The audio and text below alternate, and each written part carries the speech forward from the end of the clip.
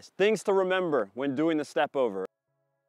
The first thing is you want to be on this side of the ball. If you're left footed, if you're right footed, you want to be here. Okay, it's going to make things very, very difficult if you're trying to do a step over and you have to go over here, then reach around here, and then try and go this way.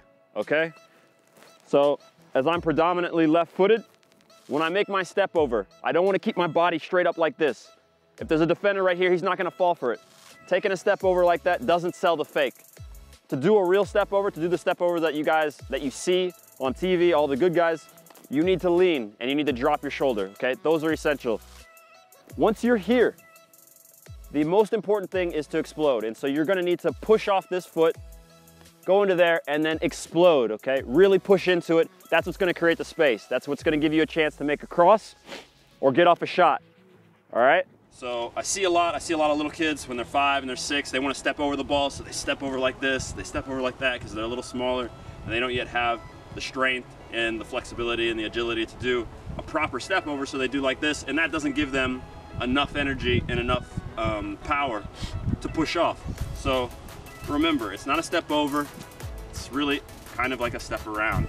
So we step around and we're out like that, all right?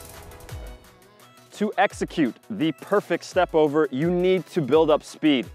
What you wanna do is build up enough speed that by the time you get to the defender, you can make your move and explode in the other way. So it should be like that. Let's do it again, one more time. I'll do it right-footed for you guys. Also, if you're right-footed, notice the little touches before. That's also gonna be important. If you're taking big touches like this, it's gonna make it really hard to then get up to it keep the ball moving, and get your body going. So right footed, like that. Double step overs, once you're there, the ball needs to keep rolling in order for you to do the two step overs. If you dribble like this, your ball stops, you've lost your momentum. What you need is the ball to keep moving in order to do your two step overs and then to explode. So, boom, and you're gone. The same thing applies when you're trying to do more than two step overs. Trying to do three, four, five, six, whatever it is. You need to build up speed, the ball needs to keep moving, and that's gonna give you enough time to get in all your step overs and then explode. So have a look, okay?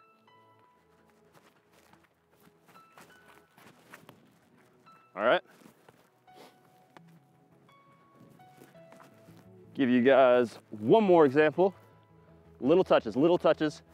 Explode, and you're gone, all right? So now B's gonna act as the defender so you guys understand what it looks like and what we want from, or what we wanna get out of the step over when we do it on a defender, okay? So I'm gonna take it, I'm gonna take you guys through it really slow. We're here, I make my step over. What happens to the defender there is that he flinches at least. He's gotta worry, am I gonna actually make that, that touch? Am I gonna go through his legs? Am I gonna do whatever, okay? And once we make that lean, all right, he's gonna flinch, he's gonna stop. And in that moment, you need to know when you explode, you gotta go right there. Because if you don't explode, he's gonna recover from that. Unless your step over is so sick that he falls over, you are going to need to explode after you've made that step. So you make that step, he goes, boom, we're gone. Okay?